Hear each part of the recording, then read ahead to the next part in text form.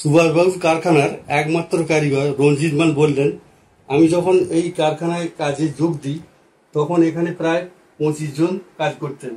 কিন্তু এখন এখানে শুধু আমি একা। গ্রামে আরও যে যে তিনটি কারখানা ছিল সেগুলো উঠে গিয়েছে। নতুন করে আর এই পেশায় কেউ আসতে চাইছে না। আমি কুড়ি বছর ধরে এই পেশায় রয়েছি।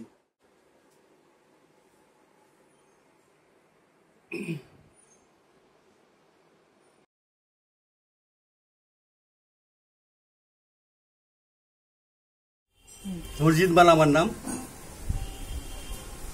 আমি এই পোলোবল তৈরি করি। এখন বয়স হয়ে গেছে, তাছাড়া পোলোবল উঠেই গেছে একদম। পোলোবল আমাদের এখানে হয় না একদম। একদম শেষ হয়ে গেছে। এখন প্লাস্টিকের বল চলছে ফাইবার গ্লাসের বল চলছে। এই বলটা আমাদের একদম লুপ্ত হয়ে গেছে। বর্তমানে।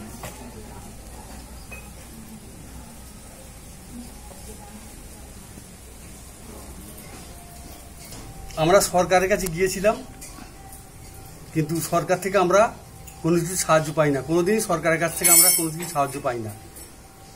আমাদের নিজেদের মূলধনেই এই ব্যবসাটাকে আমরা চালিয়েছি। তুলে এইগুলো আবার ছুলতে হবে। তুলে আবার সেই খাদি করতে হবে, তিন খাদি, দু খাদি, পাঁচ খাদি, যা যেরকম বড় হবে। খাদি করতে হবে, করে এইসবগুলো আবার চাঁচতে হবে। চেঁচে আবার বল হবে ছোট ছোট করে। চেঁচে আবার বলকে চাঁচতে হবে। চেঁচে আবার সেইগুলো ফাইল হবে। ফাইল হয়ে মাজতে হবে, নিয়ে মেজে রং হবে। একটা বল করতে অনেক সময় যায়। হ্যাঁ একটা সময় সময় যাবে কেটে।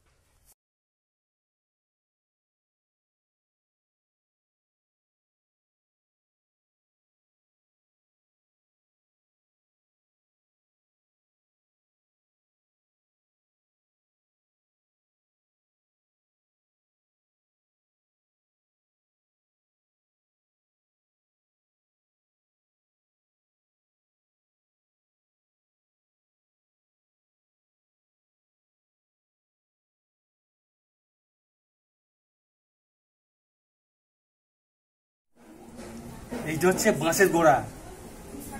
বাঁশের গোড়াটাকে প্রথমে কুল দিয়ে তুলতে হয়। তারপরে তোলার পরে এটাকে সিজন করতে হয়, শুকুতে হয়। কাঁচা অবস্থায় থাকে তো, এটাকে শুকুতে হয়। তারপরে কাটাই দিয়ে এটাকে ছিলে এরকম ভাবে ছিলে।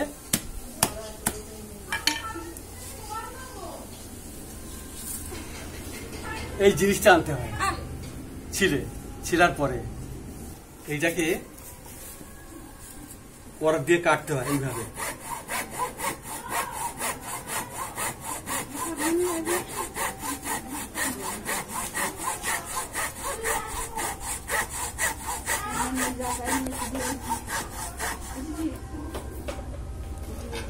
কাটার পরে এই যে কাটা হয়ে গেল।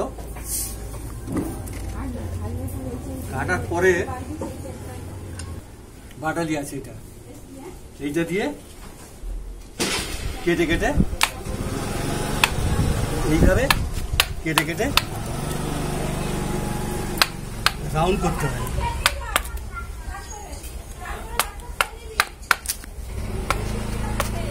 রাউন্ড করার পরে এই জিনিসটা আসে টোটাল পোলো বলটা তৈরি হয়ে গেল। প্রাথমিকভাবে প্রাথমিকভাবে তৈরি হয়ে গেল। এরপরে ফাইল লাগাতে হয়, এর উপর ফাইল লাগাতে হয়। ফাইলের পরে সিরিজ পেপার দিয়ে মাজতে হয়, মেজে মসৃণ করতে হয়। মসৃণ করার পরে রং লাগাতে হয়। রং লাগানোটা হচ্ছে লাস্ট স্টেজ এইটা।